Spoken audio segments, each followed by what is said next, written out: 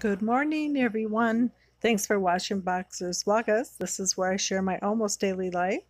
And today I want to share a recipe. It's really easy and fast and delicious.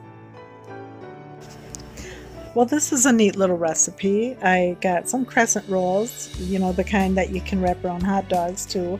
And you lay them out like a star shape, put all your favorite meats and cheese around there um, I put bacon in there also, and then you fold up the ends, the star, you know, the ends, and you bake it for around a half an hour.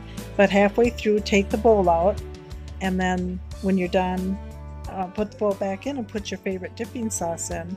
So it's so easy and fun, and you can have your kids help or grandkids, and it's absolutely delicious. So, um, hope you'll try it, and I hope you'll have a good day and we had our grandkids over for a while last night and um, our littlest one we haven't had over that much but um, they were all so much fun to have.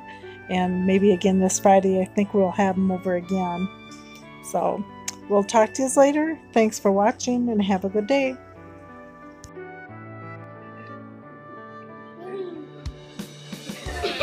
What happened to you knock out? Yeah. Tickle. Yeah. whoop, whoop, better. Do it again. Tickler's doing